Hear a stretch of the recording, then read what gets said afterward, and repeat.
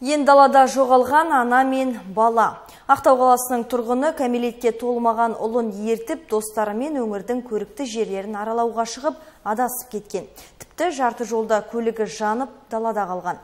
Оларды бір тәуліктен кейін ерікті іздеушілер тауып алып, көмек көрсетеді. Айта кетейік, туристер бұл сапарды бір ай бұрын жоспарлапты. Толығырақ әріптесім Жансая Оразбай тарқатсын.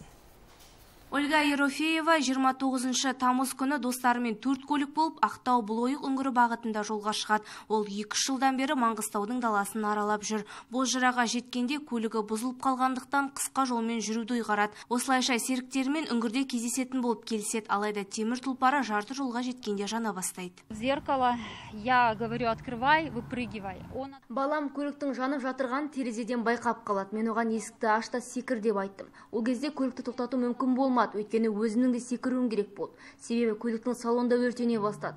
Тек қана жақын жерде тұрған сөмкемен жамылғыны алып үлгердім. Су, тамақ барлығы жанып кетті. Менде бак толы жанармай, жарты бак газ болды. Бақтымызға орай көлік жарылмады.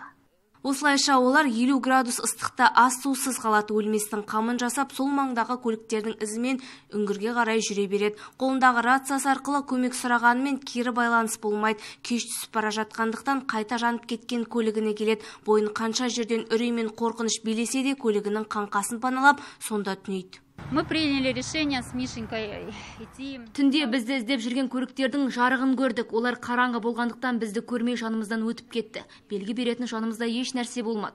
Қанша айқайласақ та көмектеспеді.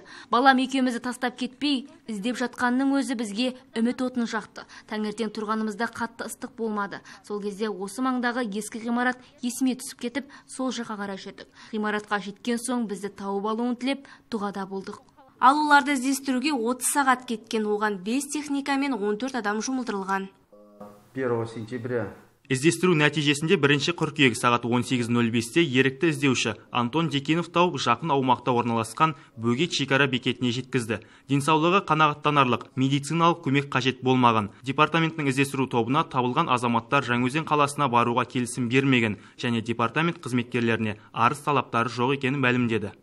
Жапан далада жасөспірім баласымен жалғыз қалған Ольга Ерофеева адам еш уақытта үміт үзбеу керектігіне көз жеткізгенін айтады. Іздеуге ат салысқандарға алғысы шексіз. Жансая Оразбай, Ролан Әметұлы, жаңалықтар.